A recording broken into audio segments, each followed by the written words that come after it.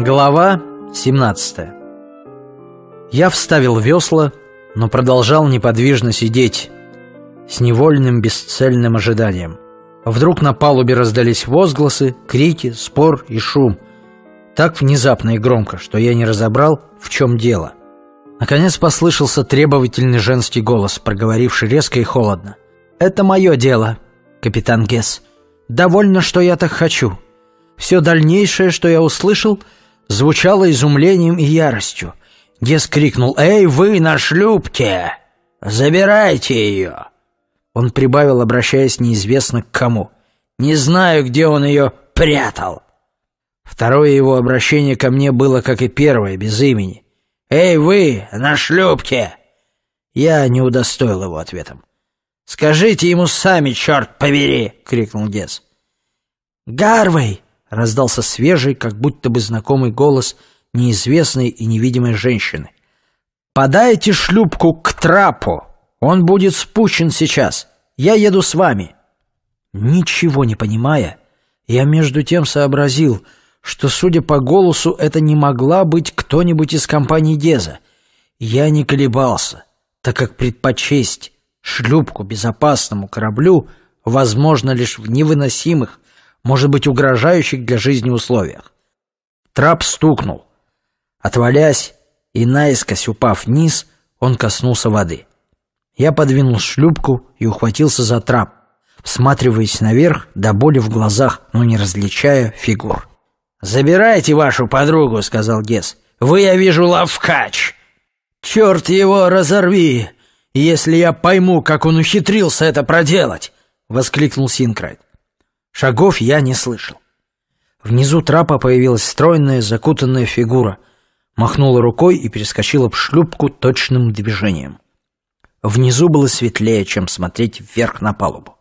Пристально взглянув на меня, женщина нервно двинула руками под скрывавшим ее лицо плащом и села на скамейку рядом с той, которую занимал я. Ее лица, скрытого кружевной отделкой, темного покрывала, я не видел — лишь поймал блеск черных глаз. Она отвернулась, смотря на корабль. Я все еще удерживался за трап. «Как это произошло?» — спросил я, теряясь от изумления. «Какова наглость!» — сказал Гес сверху. «Плывите куда хотите! Я души желаю вам накормить акул!» «Убийца!» — закричал я. «Ты еще ответишь за эту двойную гнусность! Я желаю тебе как можно скорее получить пулю в лоб!» «Он получит пулю», — спокойно, почти рассеянно сказала неизвестная женщина. И я вздрогнул. Ее появление начинало меня мучить, особенно эти беспечные твердые глаза. «Прочь от корабля», — сказала она вдруг и повернулась ко мне. «Оттолкните его веслом».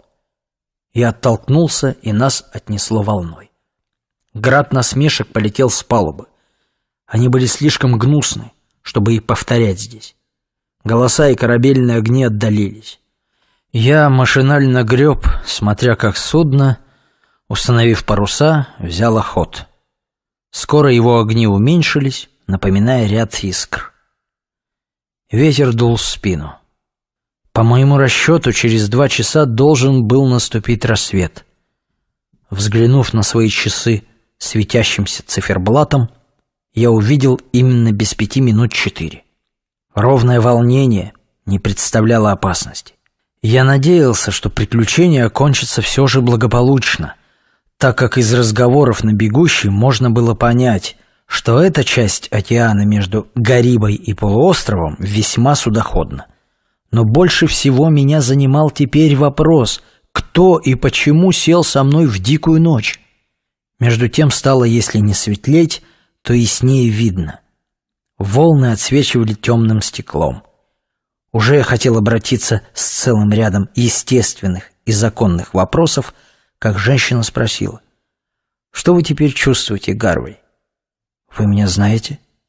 «Я знаю, как вас зовут. Скажу вам и свое имя. Фрези Грант». «Скорее мне следовало бы спросить вас», — сказал я, снова удивясь ее спокойному тону.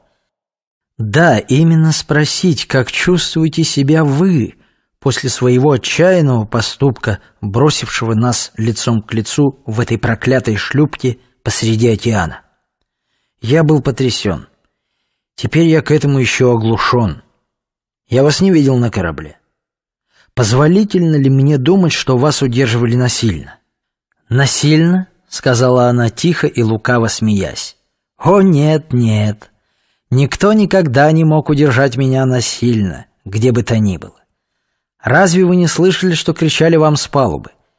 Они считают вас хитрецом, который спрятал меня в трюме или еще где-нибудь, и поняли так, что я не хочу бросить вас одного.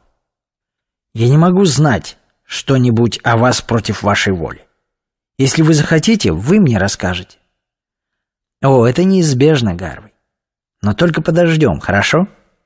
Предполагая, что она взволнована, хотя удивительно владеет собой, я спросил, не выпьет ли она немного вина, которое у меня было в баулах, чтобы укрепить нервы. «Нет», — сказала она, — «я не нуждаюсь в этом. Но вы, конечно, хотели бы увидеть, кто это непрошенное сидит с вами. Здесь есть фонарь». Она перегнулась назад и вынула из кормового камбуза фонарь, в котором была свеча. Редко я так волновался, как в ту минуту, когда, подав ей спички, ждал света. Пока она это делала, я видел тонкую руку и железный переплет фонаря, оживающий внутри ярким огнем. Тени, колеблясь, перебежали в лодке. Тогда Фрези Грант захлопнула крышку фонаря, поставила его между нами и сбросила покрывало. Я никогда не забуду ее, такой, как видел теперь.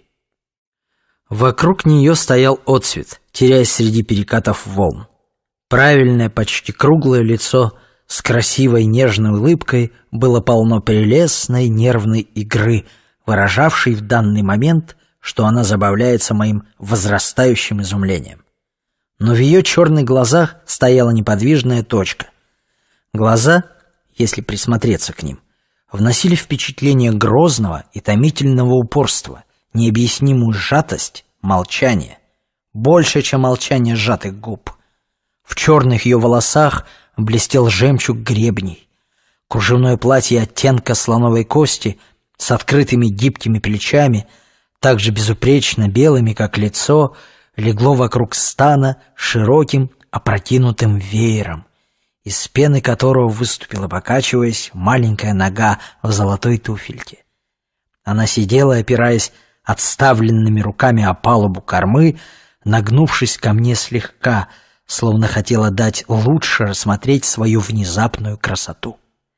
Казалось, не среди опасностей морской ночи, а в дальнем углу дворца присела, устав от музыки и толпы, эта удивительная фигура. Я смотрел, дивясь, что не ищу объяснения. Все перелетело, изменилось во мне — и хотя чувства правильно отвечали действию, их острота превозмогла всякую мысль. Я слышал стук своего сердца в груди, шее, висках.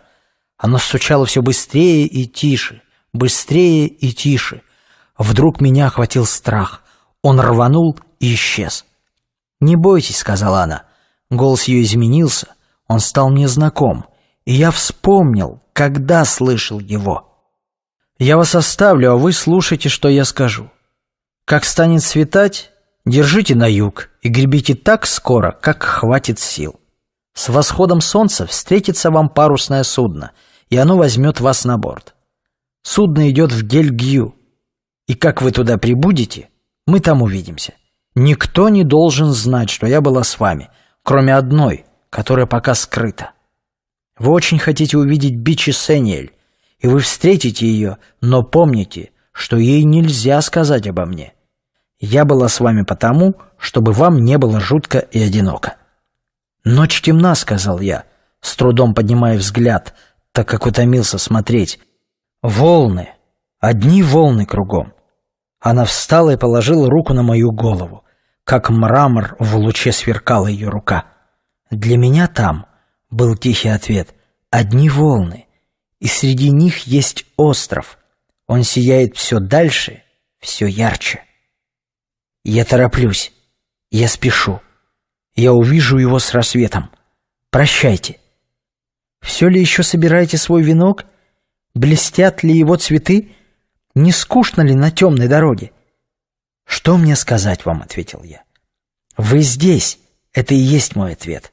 Где остров, о котором вы говорите? Почему вы одна? Что вам угрожает? Что хранит вас? «О», — сказала она печально, — «не задумывайтесь о мраке. Я повинуюсь себе и знаю, чего хочу, но об этом говорить нельзя». Пламя свечи сияло, так был резок его блеск, что я снова отвел глаза. Я видел черные плавники, пересекающие волну, подобно буям и хищные движения вокруг шлюпки, их беспокойное основание взад и вперед отдавало угрозой. «Кто это?» — сказал я. «Кто эти чудовища вокруг нас?» «Не обращайте внимания и не бойтесь за меня», — ответила она. «Кто бы ни были они в своей жадной надежде, не тронуть меня, не повредить мне, они больше не могут». В то время, как она говорила это, я поднял глаза. «Фрези Грант!» — вскричал я с тоской, потому что жалость охватила меня. «Назад!» Она была в воде, невдалеке, с правой стороны. Ее медленно относило волной — она отступила, полуоборотясь ко мне, и, приподняв руку, всматривалась, как если бы уходила от постели уснувшего человека, опасаясь разбудить его неосторожным движением. Видя, что я смотрю, она кивнула и улыбнулась. Уже не совсем ясно видел я, как быстро и легко она бежит прочь, совсем как девушка в темной огромной зале.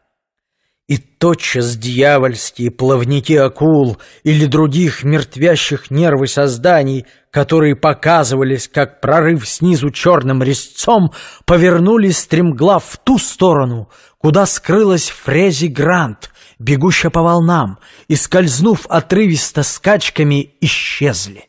Я был один. Покачивался среди волн и смотрел на фонарь. Свеча еще догорала. Хор мыслей пролетел и утих. Прошло некоторое время, в течение которого я не осознавал, что делаю и где нахожусь. Затем такое сознание стало появляться отрывками. Иногда я старался понять, вспомнить, с кем и когда сидела в лодке молодая женщина в кружевном платье. Понемногу я начал грести, так как океан изменился. Я мог определить юг. Неясно стал виден простор волн, вдали над ними тронулась светлая лавина востока, устремив яркие копья наступающего огня, скрытого облаками. Они пронеслись мимо восходящего солнца, как паруса. Волны начали блестеть, теплый ветер боролся со свежестью, наконец утренние лучи согнали призрачный мир рассвета, и начался день.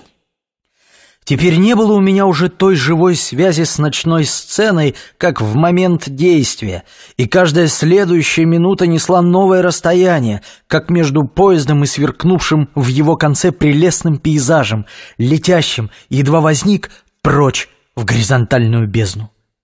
Казалось мне, что прошло несколько дней, и я только помнил. Впечатление было разорвано собственной силой. Это наступление громадного расстояния произошло быстрее, чем ветер вырывает из рук платок. Тогда я не был способен правильно судить о своем состоянии. Оно прошло сложный, трудный путь, неповторимый ни при каком возбуждении мысли. Я был один в шлюпке, греб на юг и, задумчиво улыбаясь, присматривался к воде, как будто ожидал действительно заметить след маленьких ног Фрези Гранта. Я захотел пить, и так как бочонок для воды оказался пуст, осушил бутылку вина. На этот раз оно не произвело обыкновенного действия. Мое состояние было не нормально, не эксцессивно, особое состояние, которое ни с чем сравнить разве лишь с выходом из темных пещер на приветливую траву. Я греб к югу, пристально рассматривая горизонт. В 11.20 утра на горизонте показались косые паруса с клеверами — Стало быть, небольшое судно, шедшее, как указывало положение парусов, к юго-западу при половинном ветре. Рассмотрев судно в бинокль, я определил, что, взяв под нижний угол к линии его курса, могу встретить его не позднее, чем через 30-40 минут. Судно было изрядно нагружено, шло ровно, с небольшим креном. Вскоре я заметил, что меня увидели с его палубы. Судно сделало поворот и стало двигаться на меня, в то время как я сам креп изо всех сил. На расстоянии далеко хватающего крика я мог уже различить без бинокля несколько человек, всматривающихся в мою сторону. Один из них смотрел в зрительную трубу, причем схватил за плечо своего соседа, указывая ему на меня движением трубы. Появление судна некоторое время казалось мне нереальным. Лишь начав различать лица, я встрепенулся, поняв свое положение. Судно легло в дрейф, готовясь меня принять. Я был от него на расстоянии десяти минут поспешной гребли. Подплывая, я увидел восемь человек, считая женщину, сидевшую на борту боком, держась за ванту. И понял по выражению лиц, что все они крайне изумлены. Когда между мной и шкуной оказалось расстояние незатруднительное для разговора, мне не пришлось начать первому. Едва я открыл рот, как с палубы закричали, чтобы я скорее подплывал. После того среди сочувственных восклицаний на дно шлюпки упал брошенный матросом причал, и я продел его в носовое кольцо. «Все потонули, кроме вас?» — сказал долговязый шкипер, в то время как я ступал на спущенный веревочный трап. «Сколько дней в море?» — спросил матрос. «Не набрасывайтесь на пищу», — испуганно заявила женщина. Она оказалась молодой девушкой, ее левый глаз был завязан черным платком, здоровый голубой глаз смотрел на меня с ужасом и упоением. Я ответил, когда ступил на палубу, причем случайно пошатнулся и был немедленно подхвачен. «Мой случай совершенно особый», — сказал я. «Позвольте мне сесть». Я сел на быстро подставленное опрокинутое ведро. «Куда вы плывете?» «Он не так слаб», — заметил шкипер. «Мы держим в Гельгью», — сообщил одинокий голубой глаз. «Теперь вы в безопасности. Я принесу виски». Я осмотрел этих славных людей. Они переживали события. Лишь спустя некоторое время они освоились с моим присутствием, сильно их волновавшим, и мы начали объясняться.